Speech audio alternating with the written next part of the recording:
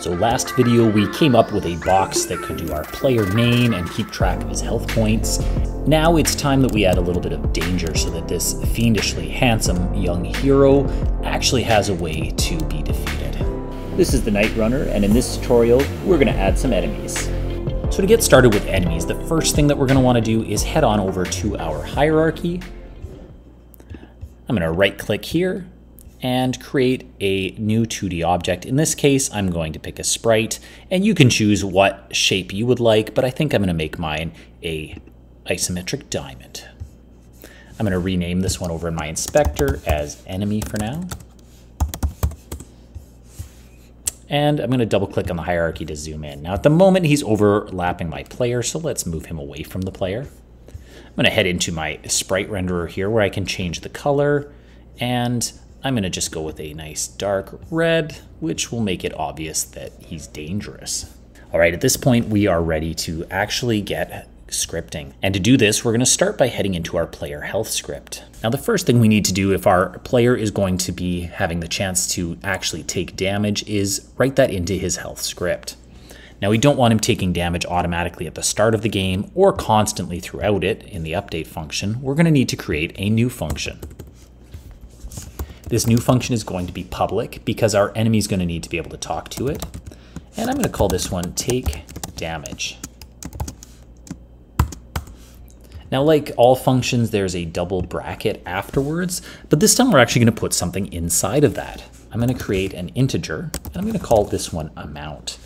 And what this simply means is that when our enemy goes to talk to this script and it tells us we need to take damage, it will also send over a number the amount of damage that we're going to take. When that message comes over to take damage, we're going to take the player's health and we're going to subtract whatever amount is. So if it sends over one damage, we'll subtract one. If it's two, we'll subtract two, that sort of thing. Now at this point, all that remains is to make sure that we are checking to see if our player runs out of health altogether. To do that, we're going to create an if statement and simply going to check if our health is less than or equal to zero. And if that's the case, we're simply going to destroy the player's game object. All right, so our player is now capable of taking damage and eventually being destroyed, but we still need to make our enemy actually deal that damage. So back in Unity, I'm going to start by making our enemy an object that we can actually interact with. So let's add component, and I'm going to add a collider here. And we're going to add a polygon collider 2D in this case. Now we can actually script our enemy's damage. So we're going to create a new C sharp script. I'm going to call this one enemy damage. All right, now this script is actually a relatively simple one. We're going to start by creating a new public integer.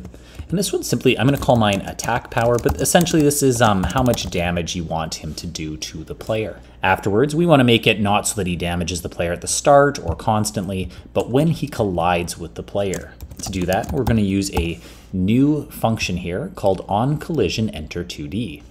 If you select it in Visual Studio and press enter, it will fill in all of the syntax for you, and this one's a bit of a beast, so I recommend it. Now, essentially what this function does is it just makes it so that as soon as the game object that has this script, in our case the enemy, collides with anything, it will automatically call this function. Now we want to make sure that this function is only being called if the enemy actually collides with the player. And so I'm going to type in an if statement here we'll type if collision, which just means if the object that he has just collided with dot game object dot tag is equal to player. Then something is going to happen. You can see how this works by going into Unity, clicking on the player, and then looking over into the inspector. You'll notice all game objects have a tag, and by selecting the player tag for this object, we can let our enemy know that this game object is in fact the player. Now, You'll remember back in our player health script that the function here is called take damage. And so he's simply going to call take damage. And then in brackets, the amount of damage he's going to send over is going to be equal to his attack power. Now, as you can see, our script is not having this at the moment. It doesn't like this simply because it doesn't know where to send take damage. If that function was inside of this script, it would work just fine, but it doesn't yet know how to talk to our player health script. So let's give it that ability. We're going to head back up to the top here where all variables are declared, and we're going to create a public variable. This one's going to be called a public player health. And what you're using here is just simply the exact name of the script itself that you're going to be accessing. So if you called yours something different, make sure that you write that name here. Now within this script, I'm going to refer to this as player health, and you'll notice I just made it lowercase at the beginning, that's the only difference. But this is the name I'll use throughout this script if I want to talk to it. So now, when I head down to my on collision enter function, it still doesn't know where take damage is, and I just need to tell it that it first has to look inside of player health. I'll put a period, it will find the take damage function, and send over attack power. For now, let's say that this enemy deals 20 damage. At this point, we can save and head back over into Unity. And now the final steps are simply going to be, first of all, to click on our enemy. Down at the bottom here, we're going to add a component, and I am going to add our enemy damage script. And the only thing left before this will be running is it still doesn't actually know where our player health script is. And as you know, it's on our player. So I'm simply going to grab our player from the hierarchy, drag it into that box, and now it will know how to talk to our player. All right, so now when I get into the game, I can move around, but when I bump into the player, you'll notice that each time I hit him, I suffer damage. And in this case, it is 20 each time, until eventually I am destroyed.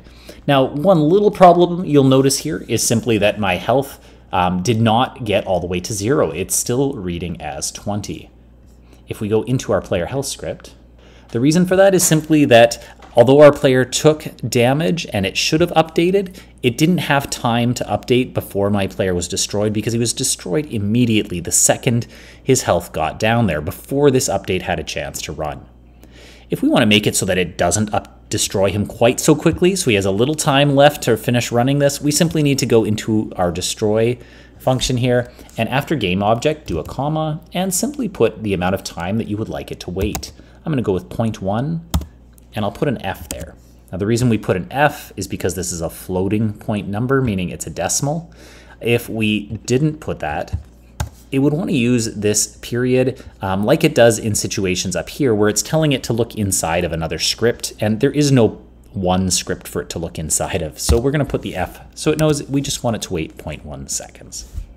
Now when we play our game, we are able to keep bumping into our enemy and taking damage over and over again, and this time we actually reach zero before we're destroyed.